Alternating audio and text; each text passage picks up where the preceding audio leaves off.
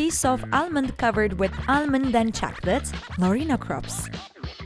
It is decorated with crunchy pieces of almond, inside is chocolate, and flavored with the combination of almonds, not to be missed a necessary delight.